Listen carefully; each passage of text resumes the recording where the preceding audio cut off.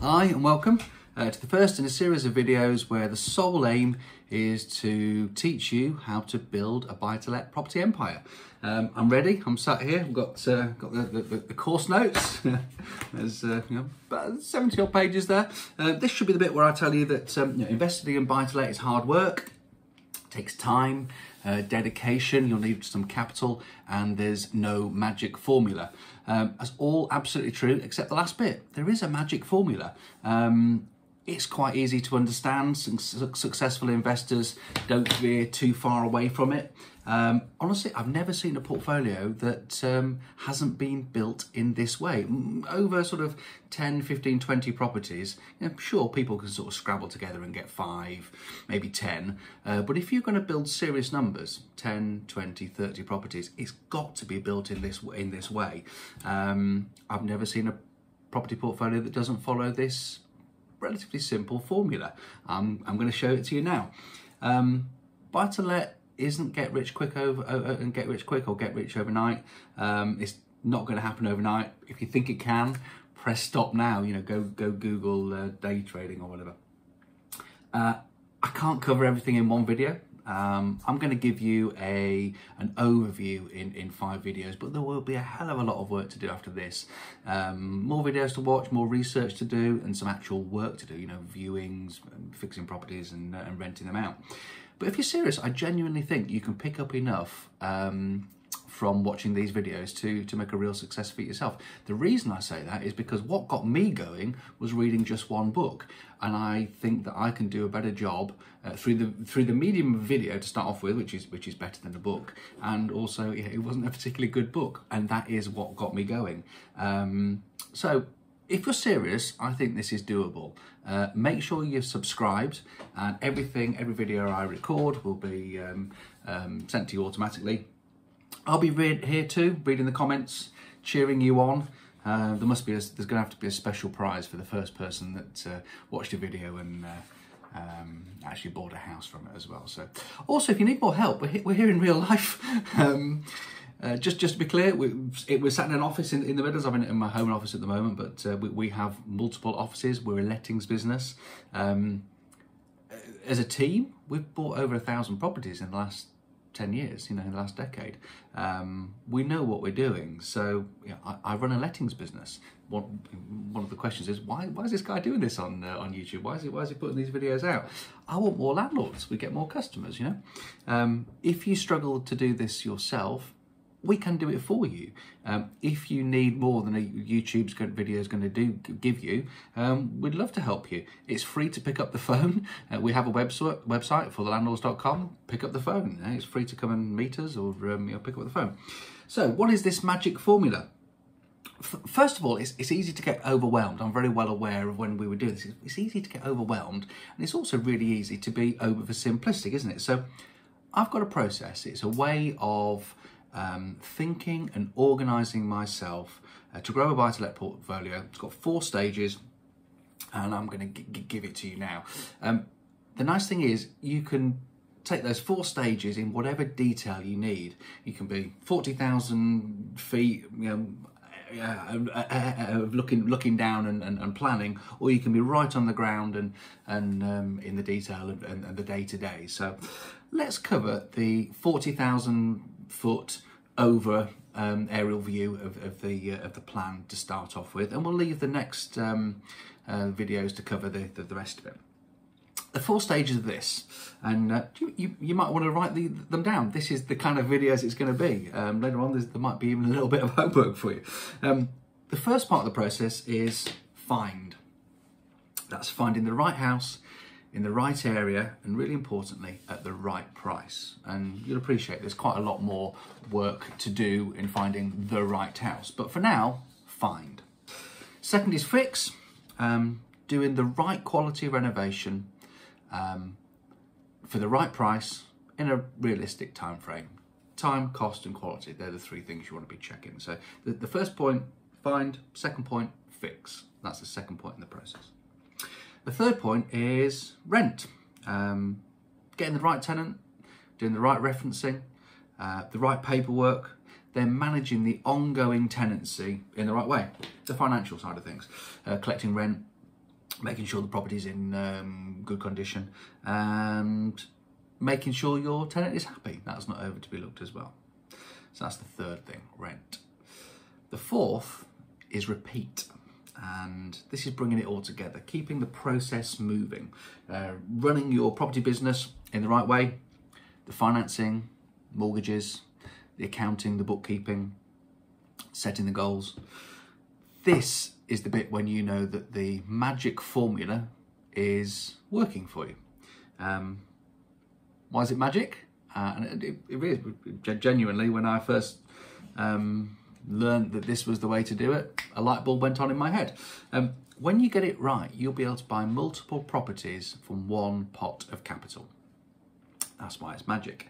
Usually people would think that investing in buy-to-let is slow. And for most landlords, they're right.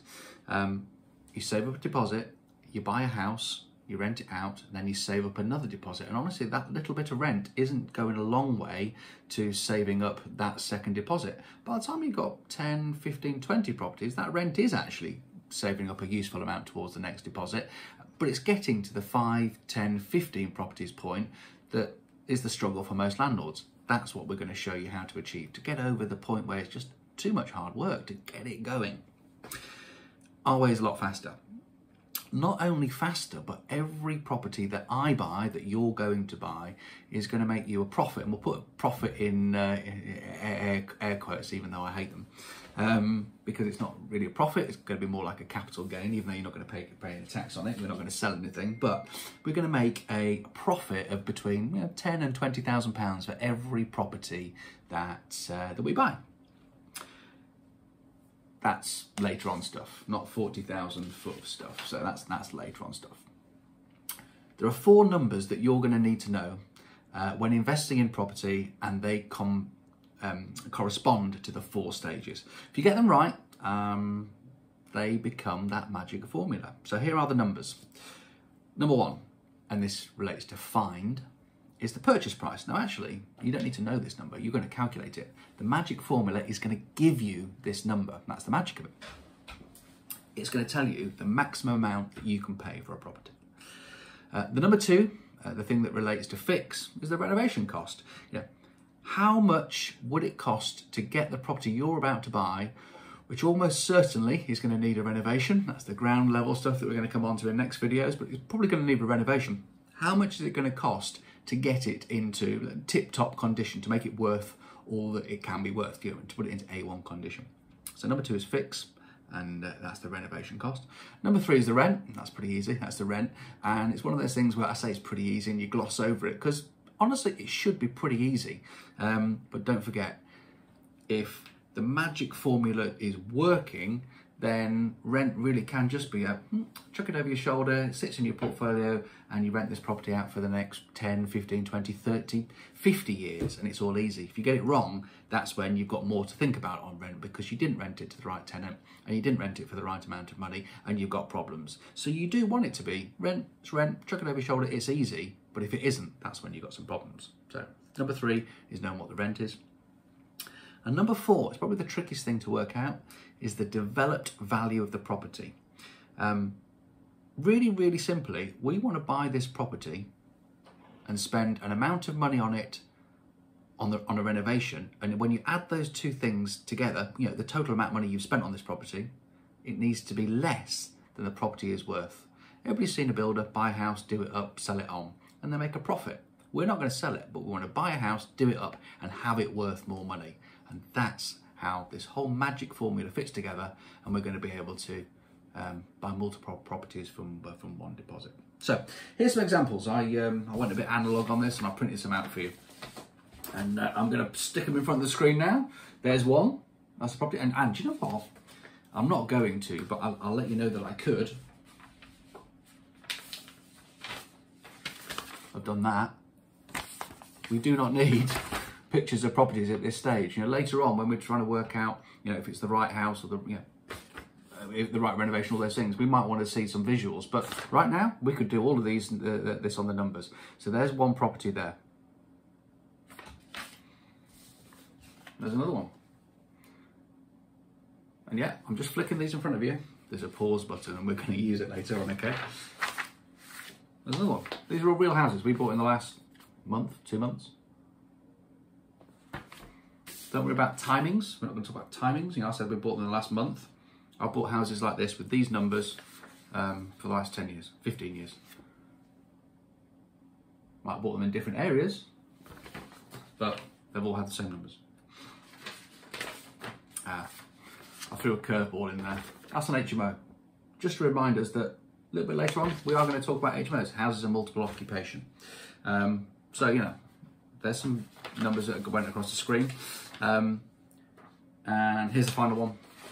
Should we run through that in a little bit more detail? Simply because um, the numbers, if you look the end value, £100,000, if we want to do some percentage work, it's kind of easy. So I left that one to last.